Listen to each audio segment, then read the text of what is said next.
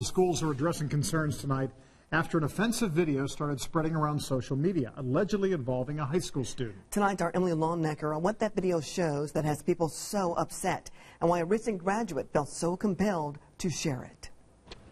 John and Andrea, the school district says the video you're about to see wasn't taken on school property during school hours or at a school event. That being said, school district officials say they are questioning at least one of the students seen in it. We can't air most of the video's sound. That's because the person you see yelling into the bullhorn is repeatedly shouting the F word and N word. We've blurred out his face because he's reportedly a Noblesville high school student. A voice off camera tells the teen. Turn around! Let me see your flag! And when he does, you see it a Nazi flag draped over the teen's shoulders. Because the first time I saw it, I was just like, this can't be kids from Noblesville. 21 year old Raven Cobb says a friend sent her the video two days ago after it was shared all over Snapchat.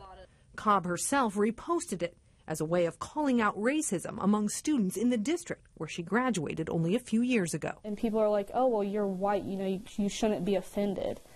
I was like, just because I'm white doesn't mean I'm not offended by those words. Cobb's post has been shared over a hundred times. The school district sent out a statement to parents making them aware of the post involving what they call ugly, racially derogatory comments. That message says in part, we want to assure you that we at Noblesville schools do not condone this type of behavior and are passionate about creating an environment where all our students and staff feel respected. Cobb says the student on the bullhorn, along with some of his friends, have contacted her, asking her to take the post down. So far, she's left it up. You know, I hate calling people out, but I will call you out if you're going to hate towards another group.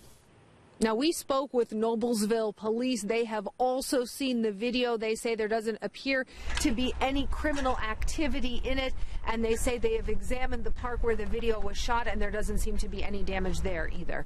Emily Longnecker, Channel 13, Eyewitness News.